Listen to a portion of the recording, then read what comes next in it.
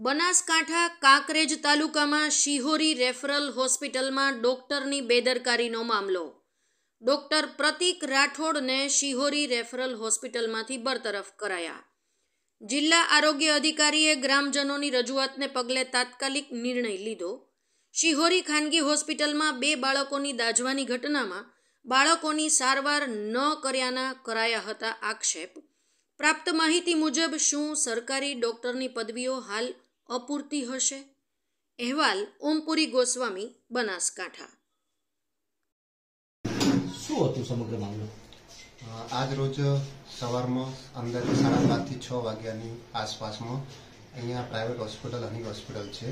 જેની અંદર paediatric NIC વોર્ડની અંદર અચાનક જ શોર્ટ સર્કિટ અને ઓક્સિજનના કારણે ત્યાં એનઆઈસી ચેમ્બરમાં આગ લાગી હતી. એ આગ દરમિયાન ત્યાં એનઆઈસીયુની અંદર ત્રણ બાળકો ત્યાં સારવાર માટે રાખેલ હતા. જે પૈકી એક બાળક જે ઉમરી ગામનું હતું અને બાબુ લાલાભાઈ રાવળ, એમનું ઘટના સ્થળે જ અવસાન થયું હતું, જે બહુ દુઃખદ વાત છે. અને જે બે અન્ય બાળકો હતા, એમને વધુ સારવાર માટે ત્યાંથી ડીસા બાલકૃષ્ણ હોસ્પિટલ, ડૉક્ટર જસવંત ટાકને ત્યાં ખસેડવામાં આવ્યા છે અને હાલ તે સારવાર માટે ત્યાં દાખલ છે. જો વાત કરવામાં આવે તો રેફરલ હોસ્પિટલમાં ની સામે પણ ગ્રામજનોનો વિરોધ છે. શા મામલે ગ્રામ- ગ્રામજનોનો વિરોધ કરવો પડ્યો. અત્યારે આપણે જોવા જઈએ તો સીએચસી શિવરીની અંદરમાં ટોટલ તબીબી અધિકારીની ત્રણ જગ્યાઓ હોય છે, વહીવટી રીતે.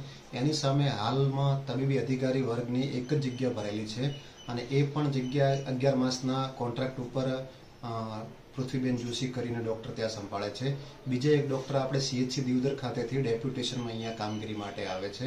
એટલે ગ્રામજનો જે પ્રશ્ન હતો એ એમના ડોક્ટરના સવારની અંદર એમના જે સ્વભાવને લઈ અને જે એમને શબ્દ યુઝ કરે, એના માટે કરી અને ગ્રામજનોનું અને સરપંચનું સીએચસી શિવરી વિરુદ્ધ આવું આક્રમક જોશ જોવા મળ્યું હતું.